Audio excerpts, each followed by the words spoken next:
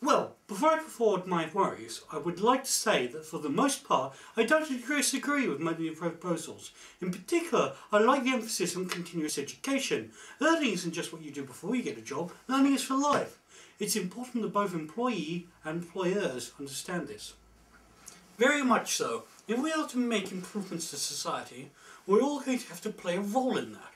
The government, business and individuals will have to come together on this one to ensure we are working together for a better future.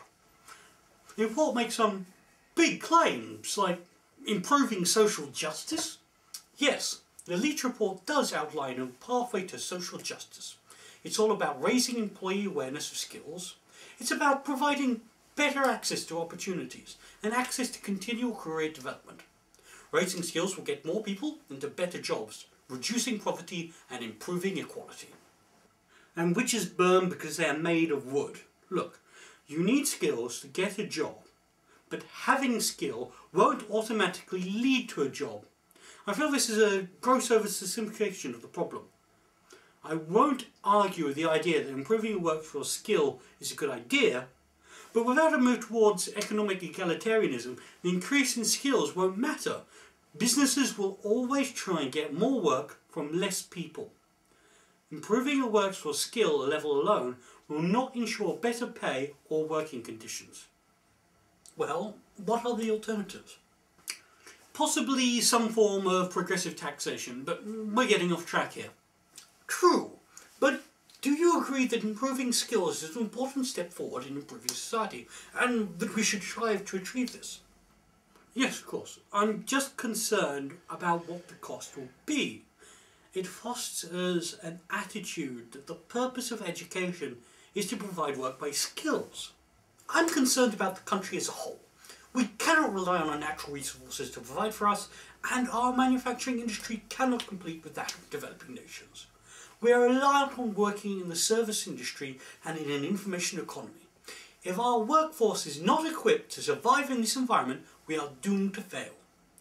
We need skilled workers who can adapt to the changing economic environment and exploit new markets. This is the only way we can ensure economic well-being for the country as a whole. Don't you feel that the emphasis on workplace skills runs the risk of turning Britain into a cultural wasteland? I think that's going a bit far. I mean, this is not something entirely new. Since the 60s, the government has seen the need to train people in marketable skills, and it's not like we have no cultural interests left. Actually, there is a point there. We have tried training for the marketplace before, and the result was always a call to move back to educating rather than training. It seems that the move towards vocational qualification, the goalposts has shifted. Uh, first it was train for job, now it's train for skills. What's going to be in 10 years from now? Change happens. We as a society need to adapt to meet those changes. A solid platform of education based on self-fulfillment can work.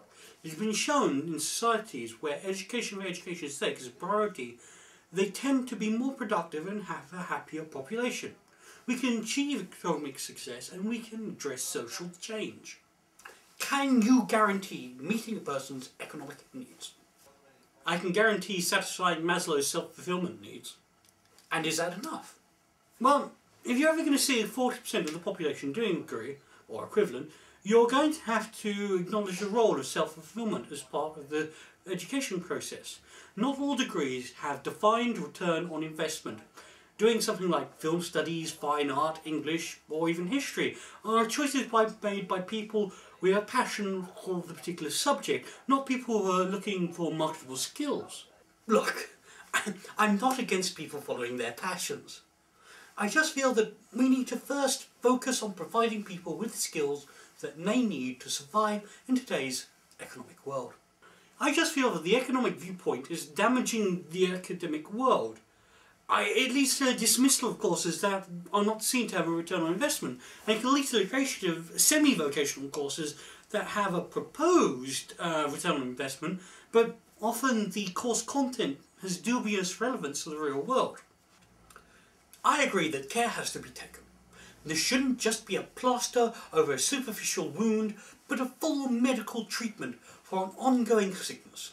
Without true change in government, business and education, there is a real chance of failure. we as a society have to work together to improve our society. Well, I can't argue with that.